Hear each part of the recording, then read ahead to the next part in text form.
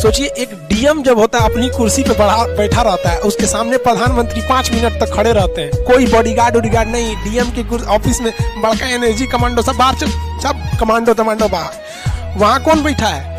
District magistrate UPSC समझ में गया? बैठा है।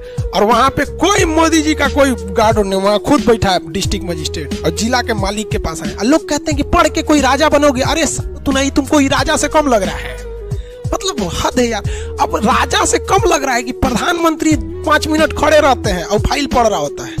यहाँ पे फ़ाइल करके साइन कर दे, दे देता है। हाँ वो अलग बात है कि भैया प्रधानमंत्री की इज़्ज़त तो सब लोग करते हैं। लेकिन बात यहाँ ये ईगो की नहीं है। बात ईगो की नहीं है। बात समझिएगा। आप में से कुछ लोग कहेंगे